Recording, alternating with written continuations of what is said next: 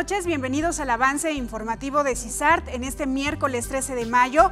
Mi nombre es Ivette Martínez Godoy y saludo con muchísimo gusto a la gente que nos acompaña a través de Radio Zacatecas, del canal 24.1 de Televisión Abierta, a través de nuestras redes sociales y por supuesto a la gente que nos escucha y nos ve a través de radio y televisión de Oklahoma en Estados Unidos. Esta noche es un programa especial, vamos a hacer un recuento de lo que ha sucedido en la pandemia aquí en Zacatecas, hablaremos de salud, de seguridad, de movilidad, de las estrategias que ha implementado el gobierno del estado para contener esta pandemia aquí en el estado. Y por eso me da muchísimo gusto saludar esta noche y nos enlazamos con el gobernador Alejandro Tello. Muy buenas noches, gobernador. Ivette, ¿cómo estás? Muy buenas noches y muy buenas noches a toda tu audiencia. Pues si le parece, gobernador, para arrancar, que pudiéramos hacer un recuento breve de las cifras de COVID en Zacatecas. Tenemos pues un desfase a nivel nacional. Este, se dio primero el primer caso, 20 días después aquí en Zacatecas. ¿Cómo andamos en este momento? Efectivamente, el primer caso en Zacatecas se dio dos semanas después que la media nacional. Estamos muy similar a Durango, eh, otro estado del norte del país. Y bueno, al día de hoy tenemos 166 eh, positivos, de los cuales eh, prácticamente tenemos al día de hoy 21 decesos. Eh, nos debe de preocupar porque es una tasa de mortandad alta, lo que nos dice que hay una población vulnerable que tenemos que cuidar. nuestros decesos han sido básicamente personas que presentan alguna otra enfermedad como diabetes, como hipertensión, como obesidad. Entonces, bueno, pues ahí está el llamado a cuidarnos y a cuidarlos mucho. Y por otro lado, te diría que eh, en un principio se presentó el virus por importación, se presentó en el municipio de Jerez, eh, de, la de la visita de algunos hermanos migrantes. Sin embargo, hoy el contagio es en lo local. Se ha ido expandiendo a un número importante de municipios, eh, no la totalidad de los 58, pero sí tenemos arriba de 25 aproximadamente que tienen ya uno o más casos. Y bueno, estamos entrando, Ivette, en una etapa muy importante. Yo sé que la gente está cansada, está harta, necesitada de salir a trabajar por el sustento diario, pero vamos a entrar en las semanas de mayor contagio, en la cúspide de la curva y pues más importante, será cuidarnos, permanecer en casa. Gobernador, un tema importante del que se ha hablado es el tema de la movilidad en Zacatecas. Ya se ha logrado reducir, de hecho, incluso ayer recibimos una felicitación del gobierno federal y se implementó aquí el programa Hoy no circula. Si nos pudiera hablar acerca pues, de esta, la importancia de la reducción de movilidad y los resultados ya de estos primeros tres días de Hoy no circula y que también ya se implementó en Jerez y en Fresnillo. Mira, el programa no circula, es una medida más de las que ya se habían implementado, no es una medida preventiva, porque realmente en esta etapa es una medida reactiva. Lo que queremos y nos obliga como autoridades a encontrar el mayor número de decesos, el mayor número de contagios que se puedan complicar. Y bueno, se implementó esa medida en las zonas urbanas. Ha sido polémico, yo entiendo perfectamente que muchas veces se vulnera pues la, la actividad diaria de la persona, se genera malestar si tu vehículo no circula ciertos días. Yo les pido de verdad entiendan que lo que la autoridad busca no es generar ni ese malestar, ni generar ningún tipo de mal, simplemente salvar vidas. Entiendo perfectamente que la economía sufre daños, muchos daños ha sufrido la economía del mundo en esta pandemia y que todos tenemos que buscar las soluciones. Está funcionando, no es permanente, el no circula, es única y exclusivamente en el periodo de la pandemia. El día de ayer se anunció por parte del gobierno federal, bueno, por lo menos eh, tuvimos la reunión con el Gabinete de Salud sobre una nueva normalidad. Eso también traerá ajustes en el no circula, tendrá que flexibilizarse. Eh, y bueno, pues agradecerle a la gente. Ayer se hizo un reconocimiento a nivel nacional de lo que Zacatecas está haciendo después de que habíamos sido señalados como un estado que no respetaba y los números pues lo demuestran. Afortunadamente siguen siendo números muy bajos y ojalá y así sigan. Justamente en este tema de la nueva normalidad y las eh, actividades o las medidas más bien que ha dado a conocer el gobierno federal para ir recuperando poco a poco en esta especie de semáforo en el que se ha dividido al país de acuerdo a las cifras de contagios. Zacatecas sigue siendo el tercer estado con menos contagios. ¿Cómo va a ser el volver a la actividad aquí en el estado y para cuándo más o menos estaríamos recuperando las actividades? A ver, es una pregunta muy importante que todo mundo se hace. ¿Cuándo? Podré reactivar mi actividad normal. Eso se va a tardar mucho. Se va a tardar mucho si hablamos de normal, porque seguirá existiendo el virus. Hoy todavía no existe una cura en lo particular ni una prevención mediante una vacuna. Hoy seguirá siendo de alto riesgo. Sin embargo, efectivamente, la actividad industrial, la actividad educativa, la actividad social tendrá paulatinamente que regresar. ¿Cómo? Pues de manera gradual, ordenada y con mucha, mucha cautela. Tú bien lo decías, Ivette, habrá una semaforización en donde a nivel país se nos diga, tu estado estás en este color, no puedes hacer esto, tu estado estás en verde, puedes hacerlo. Es una medida para realmente tener parámetros de acción ¿Qué regresa? El día de ayer se anunció, hoy por la mañana el presidente lo hizo también ya de manera pública, el que ciertos giros o actividades industriales pasan a ser prioritarias y son fundamentales para Zacatecas. ¿Cuáles son? La minería, la industria automotriz y la construcción. Con esas tres, yo te diría que en Zacatecas el 90% de la industria estaría volviendo. No es simplemente volver todo mundo, como si nada hubiera pasado. Yo precisamente dialogaba el día de hoy por la tarde con directivos de mineras, en donde tiene que ser en base a protocolos, en base a muchas medidas precautorias, en donde las personas vulnerables, que ya la gente las ubica mayores o con alguna enfermedad que ponga en riesgo su salud, no regresarán. Y bueno, tendremos que ir midiendo que no vayan a ser un foco de contagio y de riesgo. Gobernador, el tema de este esfuerzo que se ha realizado para implementar medidas tanto en el sector público, pero sobre todo en el sector salud, se incorporan más de 500 trabajadores al sector salud y también el gobierno federal daba a conocer el número de contagios del personal médico en Zacatecas. Afortunadamente la cifra es baja, se habla solamente de 10 contagios en el personal médico y desafortunadamente dos defunciones aquí en el estado y seguimos situándonos en los últimos lugares. ¿Qué medidas se han implementado precisamente? Para evitar estos contagios entre estas personas que son pues las de mayor riesgo, porque son las que están atendiendo a los enfermos. Primero que nada, Ivette, yo quiero reconocer públicamente, agradecerle infinitamente al personal médico de Zacatecas, por cierto, muy capacitado, doctoras y doctores, enfermeras y enfermeros que están en la primera línea arriesgando su vida dando todo su conocimiento y su compromiso con los demás, de verdad, gracias. ¿Y qué hemos hecho? Bueno, pues buscar todas las medidas de protección. Eh, una cifra poco conocida, pero muy representativa, es que cuando esta pandemia inició, más de 500 personas del sector salud se tuvieron que retirar por edad, por alguna morbilidad este, de las ya mencionadas, fue un duro golpe, sin embargo, con mucho menos personal, quienes quedaron han estado con un compromiso de 24 horas realmente de reconocérsele. Fíjate qué paradójico, Iber.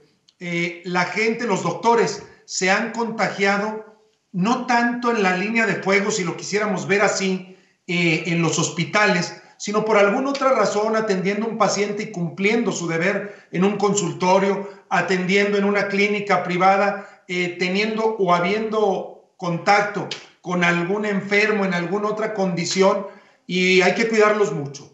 Eh, efectivamente, se me ha preguntado en muchas ocasiones si temo que el sector salud sea rebasado y he contestado en todas ellas, nos preparamos con infraestructura, con medicamentos. Hay que entender que no hay un medicamento en lo particular, sino que esto se atiende de manera eh, sintomática. Sin embargo, con lo que se viene utilizando en el mundo, contamos con él, con equipo, pero lo más importante, las manos, las personas, los doctores, las doctoras, las enfermeras, los enfermeros. Me preocupa el que se puedan contagiar, hay que cuidarlos, tenemos todo el compromiso y ellos lo saben de si tenemos alguna falla de inmediato, este, corregirla. Y bueno, hasta el día de hoy afortunadamente han hecho un gran trabajo. Yo te pudiera decir que de la capacidad instalada en el Estado, estamos abajo de un 10% en ocupación de pacientes. Se está haciendo por parte del IMSS un nuevo hospital eh, muy rápido. Eh, y no es de esos hospitales inflables, sino un hospital de material, obviamente prefabricados los, las piezas, pero que mucho va a ayudar también a todos los eh, afiliados eh, al Seguro Social. Yo espero que se utilice poco, es preferible. Y bueno, pues la receta, la medicina, la cura, la tiene la propia sociedad. Y hoy es el aislamiento. Vendrá ese, esa nueva normalidad, pero esa nueva normalidad vendrá con muchas características tendrá que seguir habiendo distancia, tendrá que seguir habiendo tapabocas, tendrá que seguir habiendo mucha sanidad durante todo el día, estarse lavando las manos, utilizando gel antibacterial, teniendo la cortesía al toser o estornudar. Vaya, toda una serie de medidas que el sector salud hará públicas y que tendremos que aprender a convivir con ellas. Gobernador, en el tema de la infraestructura hospitalaria ya nos ha dicho que está abajo del 10% la ocupación de pacientes. Tenemos el Hospital de la Mujer de Fresnillo que se ha convertido al Hospital COVID. Tenemos también eh, la UNEM para atender casos de coronavirus y también en Fresnillo, pues la minera Fresnillo también ha colaborado en esto. En el pico más alto que se espera para Zacatecas, ¿en cuánto se prevé que pudiera incrementar esta ocupación de camas aquí en el estado? Es difícil porque todo va a depender de la evolución que tengamos en los próximos días.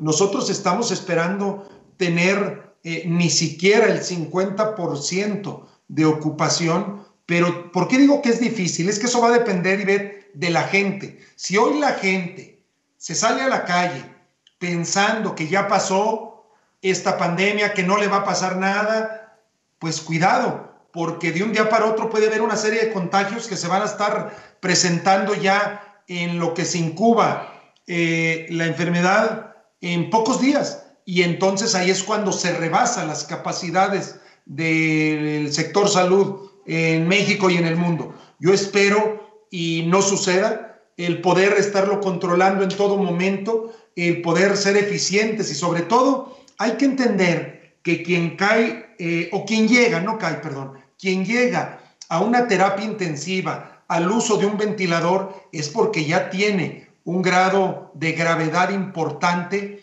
eh, y que no queremos que suceda. El contagio, eh, desde que se detecta, se puede y se debe, perdón, de aislar a la persona, empezar al tratamiento en base a los síntomas y no permitir que llegue pues a una insuficiencia y tener que ser intubado. Yo espero que no sea un tema que nos preocupe. Hoy lo que nos ha preocupado más es, primero, que no se nos contagien los médicos eh, o, todo el personal de salud, perdón. Segundo, que realmente la gente pare la movilidad. Yo sé que es bien difícil y se molesta mucha gente. Mira, es increíble, pero hubo quien ante el no circula tramitó amparos. Es respetable creo que no se ha interpretado bien eh, lo que la autoridad le compete hacer. Nosotros no queremos generar malestar. Nosotros lo que queremos es que la mortandad sea la menor, porque hoy una familia que ya perdió un ser querido está sufriendo. Hoy una familia que ya no va a ver a su padre, a su hermano, a su señora madre, están sufriendo y hoy entienden a qué nos referíamos. Entonces, bueno, al final del día lo seguiremos haciendo, es nuestra labor. Yo prefiero pecar de acción a que exista omisión y que el día de mañana se nos señale por ser un gobierno omiso, poco interesado, permisivo, que no quiere quedar mal con algunos actores, hasta políticos, que quizá les parece o no les parece, lo siento, de verdad no, no es un tema de complacencias, es un tema de salvar vidas y la historia nos juzgará. Gobernador, sin duda alguna, como usted bien lo menciona, el tema de la actitud de los ciudadanos será fundamental para que nos sigamos cuidando entre todos. Desafortunadamente, tanto a nivel nacional, también aquí en el Estado, hay mucha gente que no cree todavía que el virus exista. ¿Cuál ha sido o cuál es el reporte que usted tiene de los filtros sanitarios? ¿Cómo están operando? ¿Cómo está actuando la gente? ¿Ha sido con respeto? Porque también hemos visto en el país, en otros lados, desafortunadamente, incluso agresiones contra personal médico. Aquí en en Guadalupe vimos ahí un caso en uno de los filtros donde una persona le escupía a una enfermera. ¿Cómo eh, están operando ahorita en este momento? ¿Cuál es el reporte que usted tiene? Primero te respondería a la falta de credibilidad de algunas personas. ¿Tú crees, Ivette, y nuestra, la audiencia que está siguiendo este programa, que 3.926 muertes al día de hoy a nivel nacional, solamente el día de ayer 353 es un tema político, es un tema del gobierno. Creo que tenemos que tener una visión más allá y cuidar y ver por nuestros seres queridos y por nuestro entorno. Afortunadamente Zacatecas, la gran mayoría de la población, y se lo reconozco, aplaudo y agradezco, ha sido solidaria, ha sido muy madura, está sacrificándose. Si tú quieres en su hogar muchas veces ante la necesidad de estar en una actividad, pero eso ha ayudado. Afortunadamente es mínimo, son casos aislados.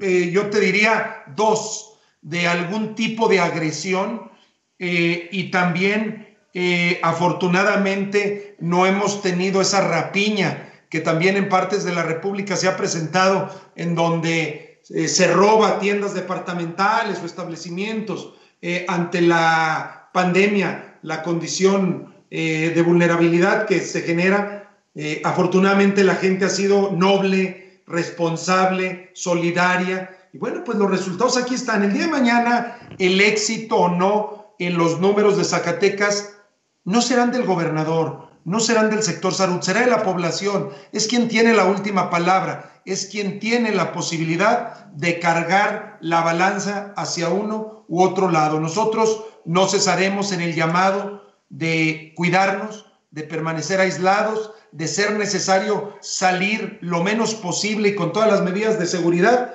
pero pues qué bueno y agradezco que la gente ha respetado, ha respetado al gremio médico y nos hemos hecho fuertes, porque también hay que reconocer por otro lado la gran solidaridad de mucha, mucha gente ante esta pandemia.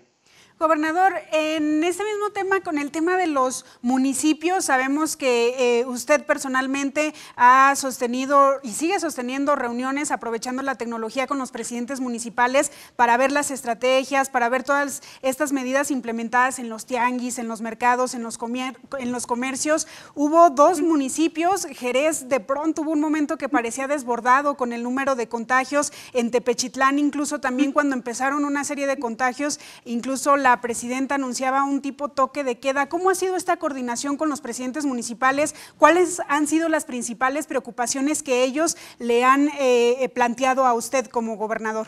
Mira, Zacatecas, Ivette, es grandísimo y, tiene muchas realidades. Eh, es tan grande que el propio sistema zacatecano de radio y televisión y todas las radiodifusoras y televisoras no alcanzan a cubrir todo lo que el Estado representa.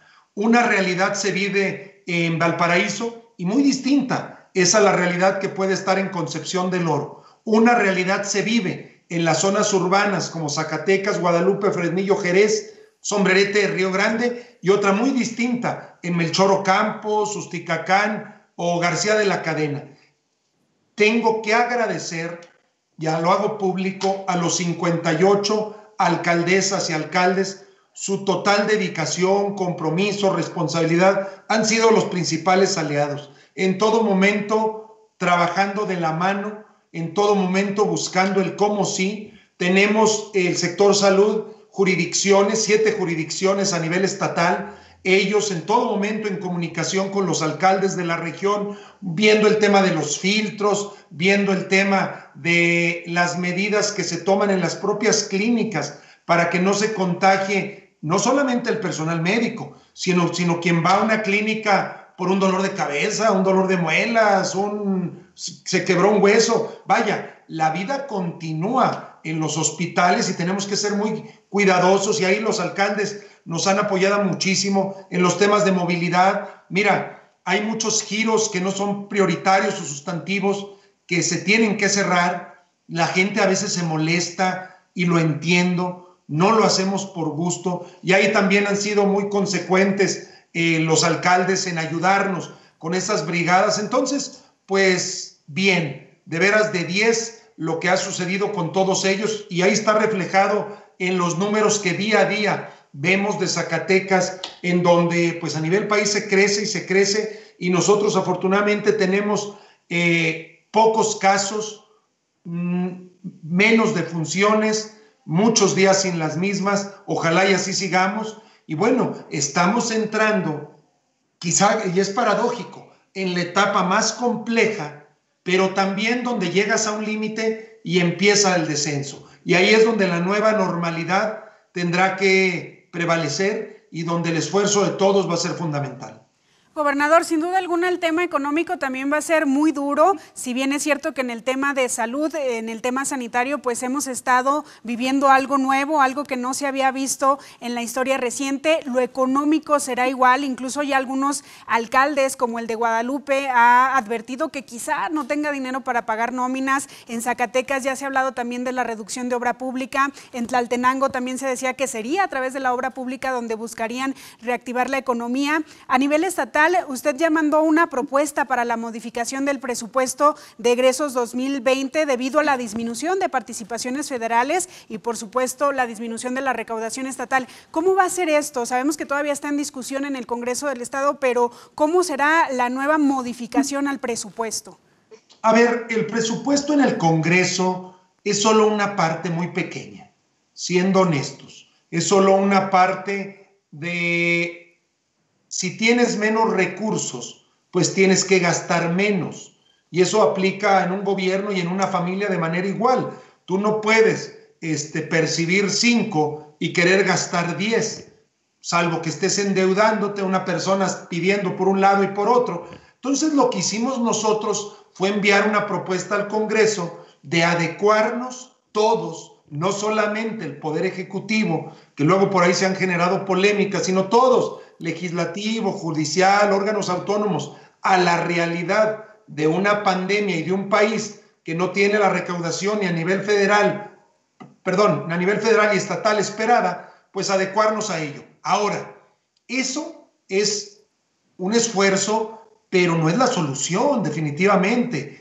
Eh, tendremos que inyectar muchos recursos a la economía una vez que esto haya pasado tratar de recobrar al máximo lo perdido. Ayer se daban cifras de la baja en los registros del Seguro Social, eh, pasa de 4 mil los empleos que hoy, por lo menos ante el seguro, no están registrados. Espero y en poco tiempo, y era lo que dialogaba hoy con la industria minera, y mañana lo haré con la industria automotriz o todas las empresas que dan servicio a la empresa automotriz, lograr recuperar lo más posible y en el menor tiempo todas esas fuentes de trabajo, pero va a ser paulatino y, y va a llevar tiempo. La economía de Zacatecas no está ajena a la del mundo ni a la de México. Hay una pandemia en salud, pero hay una crisis gravísima, quizá la más dura del último siglo en el tema económico, y bueno, llevará tiempo. La federación es fundamental Hoy la federación es quien se lleva la gran parte de los recursos mediante impuestos y si la federación no aplica una medida en donde bajen esos recursos a todo el país, va a ser muy complejo. Tienen que reactivar la economía. Somos aliados, por lo menos yo eh, en Zacatecas soy aliado de que a Zacatecas le vaya bien y aliado del gobierno federal en ello. Eh, se tendrán que buscar medidas. Yo estoy buscando las propias cómo bursatilizar partidas para inyectar dinero y se genere una derrama benéfica para los sectores económicos, cómo generar o evitar tener fondos muertos. Eh, he dado vuelta por todos lados a no endeudar más a Zacatecas de lo que lo recibí. Nunca en estos cuatro años he endeudado con un solo peso, sino contrario a ello. He tenido que pagar más de mil millones anualmente de capital y de intereses y aún así las cosas se han podido. Yo quisiera, y ver que las cosas estuvieran mucho mejor en muchos sectores eh, y hacemos un esfuerzo para que así sea, pero también se va a requerir del apoyo de la población. La iniciativa privada va a ser fundamental para restablecer eh, la economía y ahora sí que pues las medidas que todos hagamos. Gobernador, sabemos que su agenda está muy apretada, nos quedan pocos minutos, pero quisiera, antes de concluir esta entrevista, que nos hablara también un poco de esta estrategia que ha implementado el gobierno del Estado. Los vimos muy activos desde las primeras semanas, anunciando el plan económico emergente, este programa de estímulos fiscales para los contribuyentes, también a través de la Secretaría de Desarrollo Social, pues el apoyo a los grupos más vulnerables, también al campo, a las microempresas en el Estado. ¿Cómo ha funcionado estas estrategias? Ya se entregaron todos los apoyos, han este, impactado positivamente como esperaban. ¿Cómo está esta situación de la estrategia implementada en el Estado? Está en proceso. Desde el primer día anuncié una serie de medidas de incentivos fiscales, primero para no cobrar, pero más allá de no cobrar, para apoyar a la gente más vulnerable. Eh, está en proceso. La Secretaría de Desarrollo Económico lleva un gran avance. Hoy está entrando la Secretaría de Economía con una serie de apoyos y de créditos muy flexibles, muy baratos y realmente en beneficio de la gente, entrará en su momento la Secretaría del Campo. Los momentos del campo son distintos. Hoy todavía no se aprieta tanto. Claro que sucederá una vez que se inicie ya la época de cultivo, eh, de siembra, de requerir insumos, de requerir apoyos económicos, semilla, fertilizante, apoyos económicos, lo haremos, pero también, Ivette, lo digo, muy limitado en capacidades económicas. Todos esos apoyos son con los pocos y escasos recursos que logré mover de lo que iba a ser la obra, de lo que iba a ser las festividades del Festival Cultural, de lo que iba a ser las festividades de la feria, para dárselo a la gente que de veras lo necesita que por cierto mucha gente se ha solidarizado y se lo agradezco. Pero esto son recursos finitos, eh, no nos va a alcanzar ni para toda la gente que lo necesita, ni por mucho tiempo. De ahí la necesidad y el llamado insistente al gobierno federal a que a los estados nos respalde. Hoy hay un programa de apoyos que fluyen por parte del IMSS, de microcréditos, aquellos patrones que permanecieron con sus trabajadores por parte del Seguro Social, se me informaba que son 694 apoyos que agradezco infinitamente, pero requerimos miles y miles y miles de esos, llegar a toda la población. Hoy la población recibe de parte del gobierno federal un programa de adultos mayores, ojalá y esté llegando y ojalá y esté funcionando. No puedo dar más datos porque lo maneja el gobierno federal mediante la Secretaría del Bienestar. Espero y esté funcionando adecuadamente no tenemos datos de montos y de beneficiarios, pero ayuda, igual que los apoyos a las personas con discapacidad o a los estudiantes.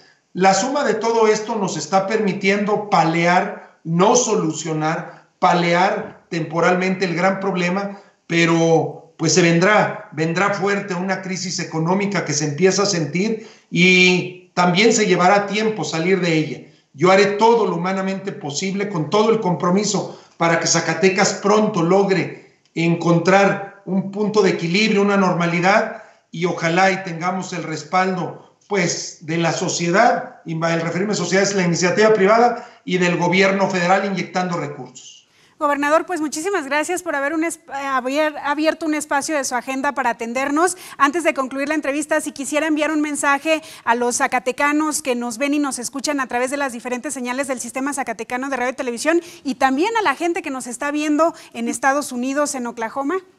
Sí, efectivamente ya, ya CISAR llega hasta Tulsa, Oklahoma, la última federación que se creó, que tuve la oportunidad y de verdad me enorgullece haber encabezado pues el llamado es a, dar el último esfuerzo. Estamos a pocas semanas de que la nueva normalidad arranque. Mucha gente tiene muchas dudas si van a regresar los niños a la escuela. Yo estaré anunciando ya la definición en Zacatecas pasado mañana. Estamos haciendo todos los valoraciones, sopesando los pros y los contra. También decirle a la gente que paulatinamente esto irá regresando a una normalidad, pero hoy, ante el momento de mayor contagio, pedirles lo que hemos dicho un y mil veces. Tratemos al máximo de quedarnos en nuestra casa. Por favor, quédate en casa. Un saludo y muchas gracias. Muchísimas gracias, gobernador. Buenas noches. Buenas noches. Muchas gracias. Pues ahí lo tienen las palabras del gobernador Alejandro Tello en torno a toda esta estrategia que se ha implementado para enfrentar la contingencia de salud provocada por el coronavirus en todo el mundo y también aquí en Zacatecas. Así llegamos al final. Muchísimas gracias por habernos acompañado. Mi nombre es Ivette Martínez Godoy. Los espero mañana en punto de las 8 de la noche. Que descanse.